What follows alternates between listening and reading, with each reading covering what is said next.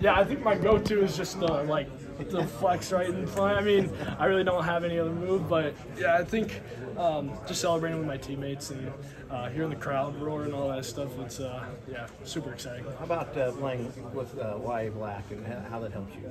Yeah, I mean, gosh, Wyatt does not get enough credit, especially today. He had a double team about every single play, which allowed me to make plays myself. So um, I think Wyatt does the dirty work and he does it well. And um, he frees me up, he frees up the other guys to do their jobs, and so very appreciative of, uh, of him.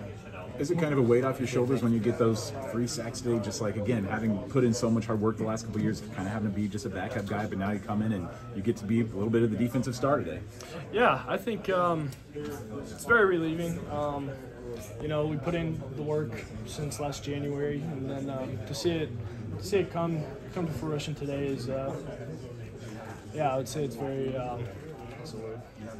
humbling. Yeah, Rewarding. rewarding. Yeah. How much does defense take pride in the shutout, keeping that zero on the board? I mean, is it the defensive equivalent of scoring 40 points, basically? Oh yeah, for sure. I mean, Riley Moss was on our sideline today, and after I think we were up like 22-0 or something like that, and he was like, "Graves, they don't freaking score one point today," and I was like, "Yeah, yeah, dang right, Riley." And so, yeah, him out was super fun. Yeah, very rewarding.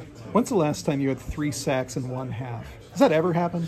Um, I would say the Shrine Bowl, my senior year of high school. I had four sacks in two quarters of play. So I'd say that was probably my most productive two quarters. So yeah. Did this feel better?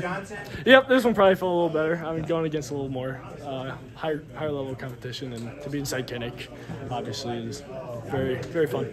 Thanks. I'd like to see the offense kind of have some success. I mean, the defense has been, you know, the star of this team for so long, and it's nice to see them get a little bit of moment. Yeah, for sure. I mean, they've just been putting in so much work, working their tails off, and um, you know, no matter what anybody says about them or the narrative that's been out there, they just put their head down work, and you're really seeing that come to to, to life today. Uh, that work, and so it's very nice to see them see them have their time in the spotlight for sure.